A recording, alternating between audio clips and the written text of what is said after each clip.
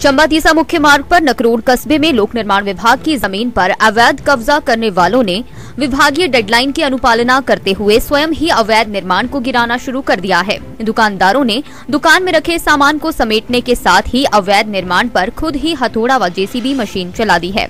बताते चलें, लोक निर्माण विभाग ने हाई कोर्ट के आदेशों पर विभागीय ज़मीन पर अवैध कब्जा करने वाले चौरानवे दुकानदारों को नोटिस जारी किए थे। बीते दिनों, जेसीबी मशीन संघ अवैध कब्जे हटाने पहुँची विभागीय टीम के समक्ष। दुकानदारों ने इस कार्रवाई का विरोध किया था, मगर बाद में दोनों पक्षों की सहमति से मामला सुलझा लिया गया। लोक निर्माण विभाग की तरफ़ से दुकानदारों को 28 नवंबर तक अवैध कब्जा हटाने की डेडलाइन दी गई है।